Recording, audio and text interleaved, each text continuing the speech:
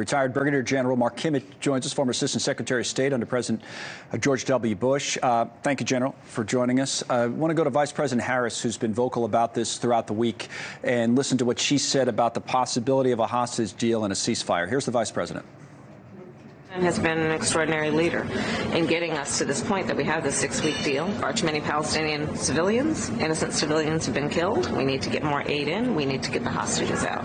We're in a window of time right now where we can actually get a hostage deal done.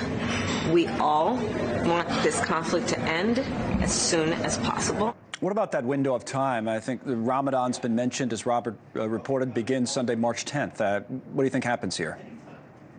Well, I think Robert's right. There's very little chance, in my mind, uh, save a significant concession on either the Hamas side or the Israeli side, that there's going to be any type of significant deal done before Sunday.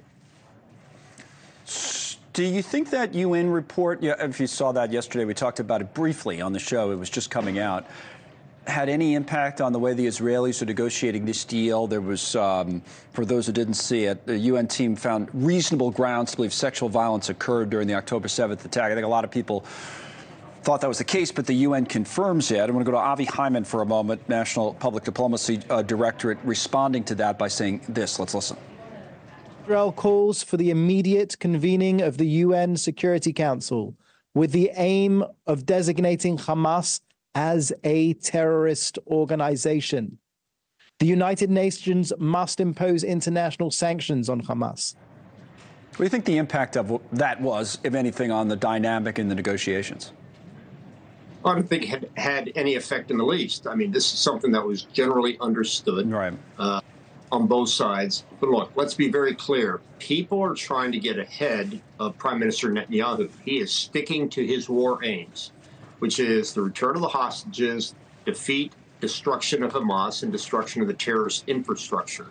It is many of his opponents that are scaling back on those war aims, and Prime Minister Netanyahu sticking to those war aims, right or wrong. Uh, that uh, is where we find ourselves today. And he has a significant amount of the Israeli population that agrees with him. So I don't think that there's going to be any breakthrough, and I don't think that there are any concessions that are going to be offered by Netanyahu in this short term either. What about the dynamic inside the Israeli government? A lot's been made of Benny Gantz, who had run against Netanyahu, coming here, meeting with the vice president this week. I want to put up a headline from Axios that talked about um, how he was lambasted at the White House about the war strategy. The quote in there was that the aid convoy disaster from last Thursday in Gaza, during which more than 100 Palestinians were killed, that was seen as a turning point for the Biden administration. Then Gantz comes in, and you're still saying Netanyahu has a lot of support. It's not fracturing a bit? Well, certainly his political support is fracturing, but at the end of the day, that's a parliamentary democracy.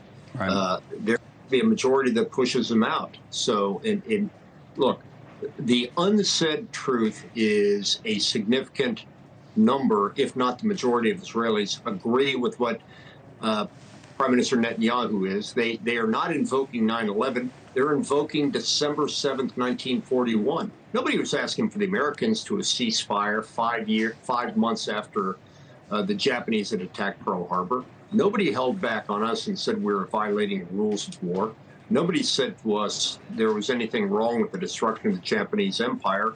Uh, one that we dropped two atomic bombs on. That's that's the thinking that Netanyahu's going on, and he's thinking also that if he does not finish his job, that will just simply be work left to one of his successors when Hamas attacks again in the future. Yeah, so, I, I, just wonder if he's more alone in that thinking or, or more lonely in that thinking than he was. You know, in other words, there seems like there's more voices speaking up all around the world that, you know, wouldn't really be radical voices, more moderate voices that are saying, you know what, I know the attack was terrible, the response needed to be um, strong, but maybe this is a bit too much. Well, I, I sure wish they had told that to the American Marines before they had to run up Iwo Jima. Thanks so much for watching. Just go to joinnn.com to find News Nation on your television provider. And don't forget to click the red subscribe button below to get more of News Nation's fact driven, unbiased coverage.